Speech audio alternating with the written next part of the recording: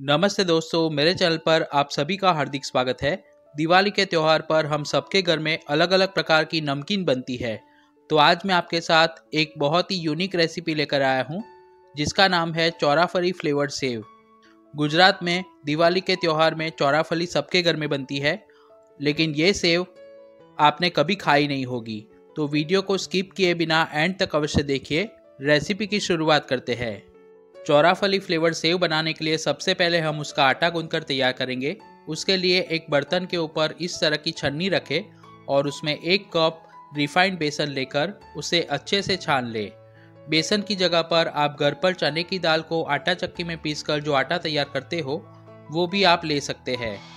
किसी भी रेसिपी को बनाते वक्त अगर आप बेसन का उपयोग करो तो उसे छानना बहुत ही ज़रूरी है, वरना उसके अंदर इस तरह के गांठे पड़ जाते हैं। अगर आपके पास मेजरिंग कप ना हो तो आप 150 ग्राम बेसन ले सकते हैं। बेसन को छानने के बाद अब हम उसमें आधा कप उड़द की दाल का महीम आटा छान कर ऐड करेंगे। ये आटा आपको किसी भी किराना स्टोर पर आसानी से मिल जाता है और आप घर पर भी बिना छिलके वाली उड़द की दाल को चक्की में पीसकर तैयार कर सकते हैं। वज़न में देखने जाए तो 60 से 70 ग्राम हमने उड़द की दाल का आटा लिया है। अब हम उसमें बाकी की सामग्री ऐड करेंगे। सेव को क्रिस्पी बनाने के लिए उसमें one four T baking powder और one four T baking soda, जो खाने का मीठा सोडा होता है, वो ऐड करना है। अगर आपके पास बेकिंग पाउडर अवेलेबल ना हो तो आप half teaspoon baking soda भी ऐड कर सकते हैं। लेकिन दोनों आप आधी आधी क्वांटिटी में ऐड करोगे तो सेव ज़्यादा अच्छी बनेगी। उसमें स्वादानुसार या हाफ़ टी स्पून जितना नमक ऐड करेंगे। नमक का उपयोग ज़्यादा ना करें, क्योंकि सेव को तलने के बाद उसके ऊपर हम मसाला स्प्रिंकल करेंगे। और मोयन के लिए हम तीन चम्मच, यानी कि तीन टीस्पून रिफाइंड ऑयल ऐड करेंगे। ऑयल हमें रूम टेम्परेचर पर हो, वैसा ही लेना है। अगर आप स्टील की चम्मच का उपयोग कर रहे हो तो आप दो चम्मच भी ऑयल ऐड कर सकते हैं। अब सभी सामग्री को हाथ की मदद से अच्छे से मिक्स करेंगे। जैसे चौराफली का आटा गूंदते वक्त, हम उसमें हल्दी, लाल मिर्च पाउडर, जीरा, अजवाइन, हींग जैसे मसाले का उपयोग नहीं करते। उसी तरह से हमें ये सेव का आटा गूंदना है। कई लोगों को चौराफली बनाने की लेंदी प्रोसेस करने की आलस आती है या किसी भी कारणवश वो नहीं बना पाते तो ये सेव आप सिर्फ़ 10 से 15 मिनट में तैयार कर सकते हैं। और ये सेव चौराफली जैसी ही स्वादिष्ट बनती है। इस तरह से हमने सोडा, नमक और तेल को आटे के साथ अच्छे से मिक्स कर दिया है। ट्रेडिशनल तरीके से चौराफली बनाते वक्त उसमें चौला का आटा भी ऐड किया जाता है। अगर आपके पास अवेलेबल हो तो आप उसमें दो टेबल स्पून जितना ऐड कर सकते हैं। आटे में मोयन देने के बाद अब हम उसमें आवश्यकता के अनुसार थोड़ा थोड़ा पानी ऐड करते जाएँगे। और मीडियम सॉफ्ट आटा गूंदकर तैयार करेंगे। एक साथ ज़्यादा मात्रा में पानी का उपयोग ना करें, क्योंकि हमने अभी बेसन के साथ उड़द की दाल के आटे का उपयोग किया है। और अगर आप ज़्यादा पानी ऐड करोगे तो वो चिकना हो जाएगा और आपके हाथ के ऊपर चिपकेगा।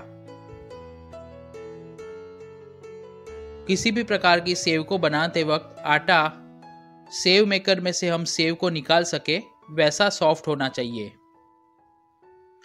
इतनी क्वांटिटी में आटा गूंदने में करीबन आधा कप पानी का उपयोग होगा और पानी हमें गर्म या ज़्यादा ठंडा नहीं लेना है रूम टेम्परेचर पर हो वैसा ही लेना है। दिवाली के त्यौहार में अगर आप ये सेव घर पर बनाओगे तो मैं गारंटी के साथ कहता हूँ कि आपके घर में सभी को ये बहुत ही पसंद आएगी। चौराफली बनाने के लिए हम सख्त आटा गूंदते हैं, लेकिन ये सेव का आटा हमें इस तरह का मीडियम सॉफ्ट रखना है। आटा गूंदने के लिए हमने एक कप पानी लिया था, उसमें से आधा कप पानी बचा है। अब आटे को बिल्कुल भी रेस्ट ना दे, उसके ऊपर हाफ़ टी स्पून तेल ऐड करके आटे को अच्छे से मसल कर चिकना कर लेंगे। आटा परफेक्ट गूंदा है, वो बर्तन में या हाथ के ऊपर बिल्कुल भी चिपक नहीं रहा। सेव मेकर के साथ अलग अलग प्रकार की जाली मिलती है, उसमें जो सबसे बड़े छेद वाली जाली है उसका उपयोग करके हम सेव बनाएँगे। अगर आपको महीम या मीडियम सेव बनानी हो तो वो भी बना सकते हैं। जाली को सेव मेकर के साथ फिक्स करके, जो आटा तैयार किया था, उसे उसमें भरकर ऊपर से ढक्कन लगाकर इस तरह से फिक्स करेंगे। सेव को तलने के लिए कढ़ाई में तेल गरम करने के लिए रखा है। तेल गरम हो तब तक हम सेव के ऊपर स्प्रिंकल करने के लिए मसाला तैयार करेंगे।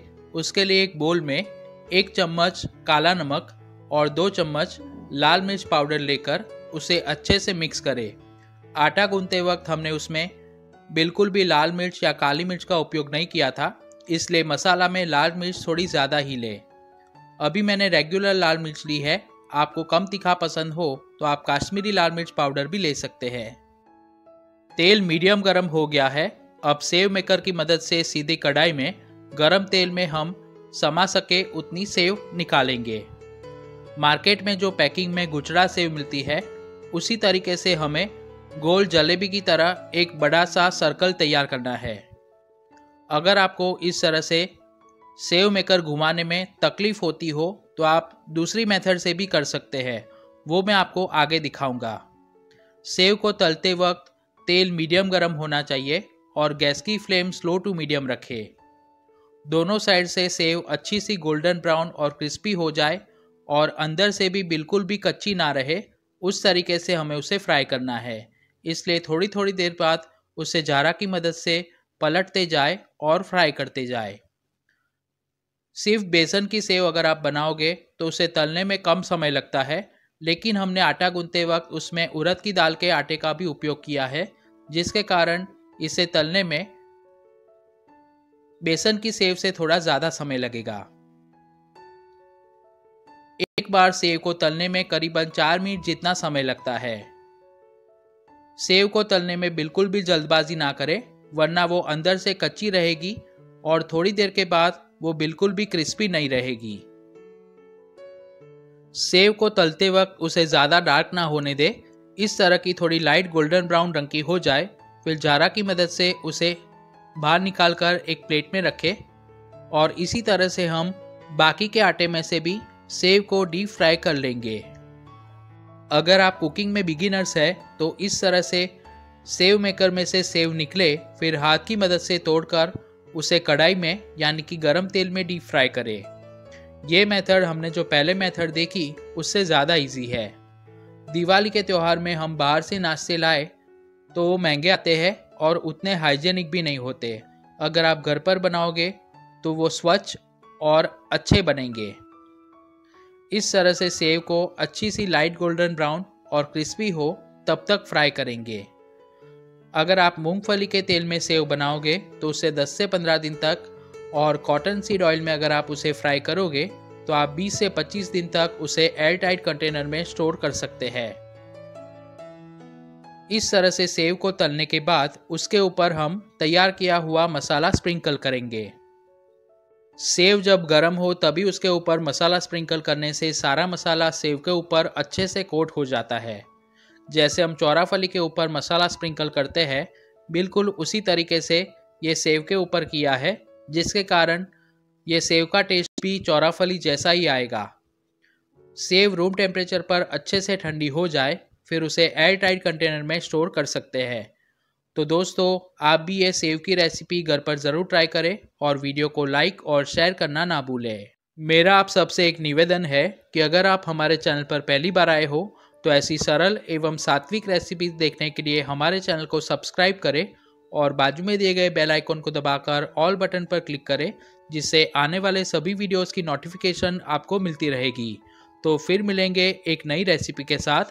Thanks for watching this video